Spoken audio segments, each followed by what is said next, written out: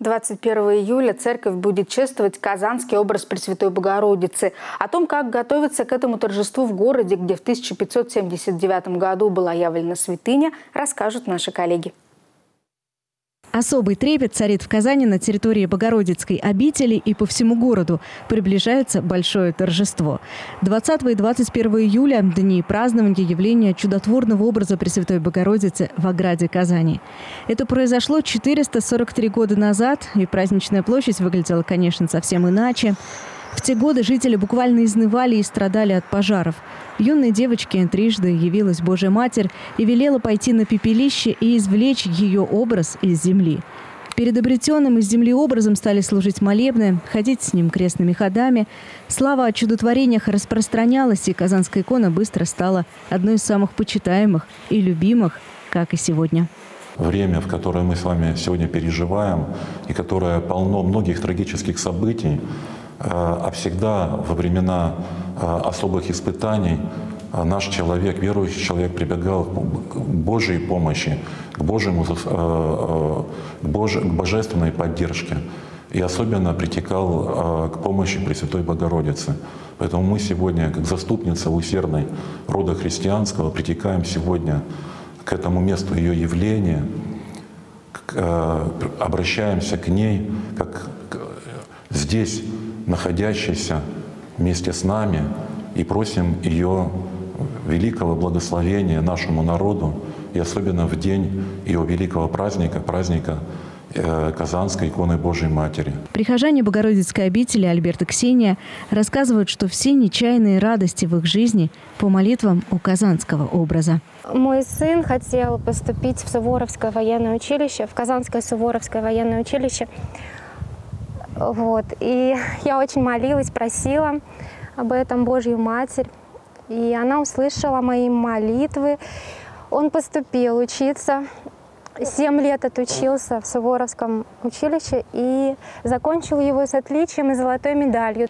Вот еще одно чудо в нашей семье – это рождение у меня второго ребенка, дочка родилась мне 41 год, то есть для меня это чудо, что я в таком возрасте родила доченьку. Роды были очень тяжелые.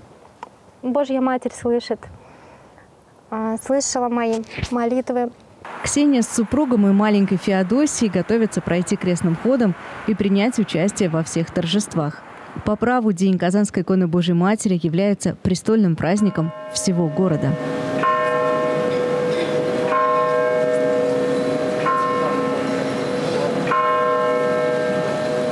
Грядущие дни будет отмечена годовщина великого события – освящения воссозданного собора.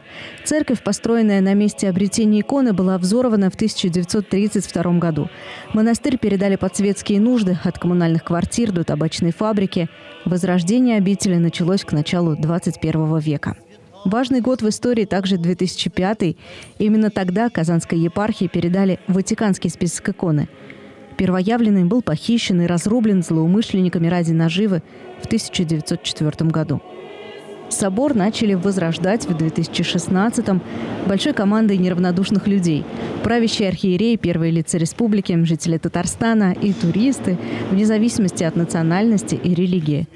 21 июля 2021 года Святейший Патриарх Московский и всея Руси Кирилл осветил воссозданный величественный собор. И мир сотворшим же здание сие и храма освящения, по любви к Тебе, Богу, тщательно, оставление согрешений подашь.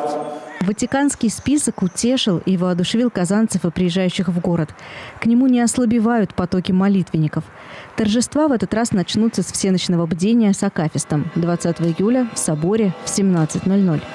Утром 21 числа в четверг пройдет общегородской крестный ход из Благовещенского собора Казанского Кремля до места явления святыни. Начало в 7.30. Затем в Казанском соборе в 9 часов утра состоится праздничная служба во главе с митрополитом Казанским и Татарстанским Кириллом и сонмом архиереев со всех уголков России.